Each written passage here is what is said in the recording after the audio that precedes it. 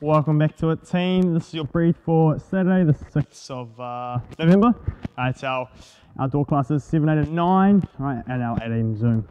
Cracking into this warm up, we're going to start off with Tabata. So, 8 rounds, 20 seconds work, 10 seconds rest, alternating between our plank, right, engaging that core, okay, keeping that back nice and straight, into our next round, obviously, will be uh, bodybuilders.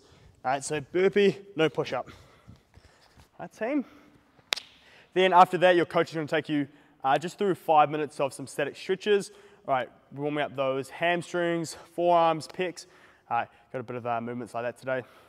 Cracking into our strength, 16 minute cap, our barbell option. We have four sets to build to a 12 rep max front squat from the ground. Okay, four, four sets only.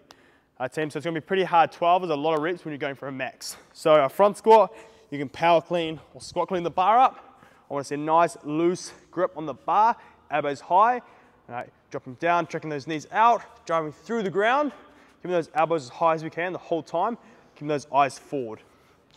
That is our barbell option. Our dumbbell kettlebell option, we have four times 20 back step lunges from a plate.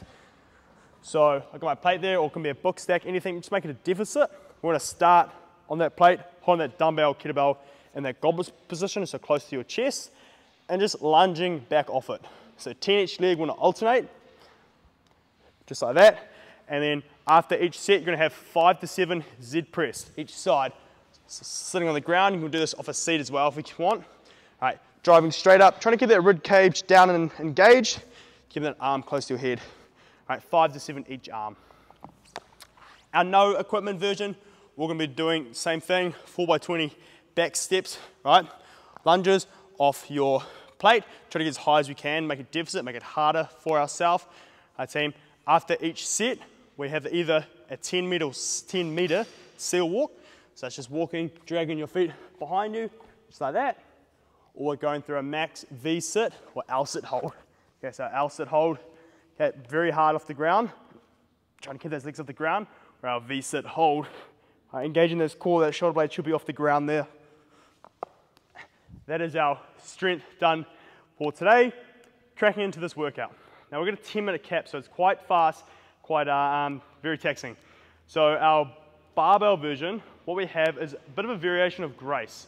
So we're going to do 30 power cleans, rest one minute, into 30 shoulder overheads with a buyout of an 800 meter run or 60 or 50 cals. So our power cleans, starting from the ground each time, keeping the bar close, fast elbows, all right, catching that semi-squat, starting, standing up. Our shoulder to overhead, dip drive catch would be our push jerk. All right, so you can either do a push jerk or your push press, dipping back on your heels, whatever's gonna be the most efficient for you. Now you wanna pick a weight that no matter how fatigued you are, you'll be able to pick it up and do a few reps. Okay, this is meant to be a sprint. Very tight time cap, especially with that one minute rest in between and that 800 meter run of the end or those cals, you're just gonna absolutely drop the hammer and hold on as long as we can. Onto our dumbbell, kettlebell, or no equipment version, we're starting with 30 bodybuilders. So once again, that burpee with no push-up. Going into a one minute rest, then we have either 30 handstand push-ups or hand release push-ups. So that's hand release push-ups, really push up, releasing those hands, keeping those elbows close to. I think having a buyout of that run or calories again. So there's our workout and strength today team. Like I said, push the pace on this, okay? 30 reps, pick a weight wisely. They're gonna be able to hold on no matter what.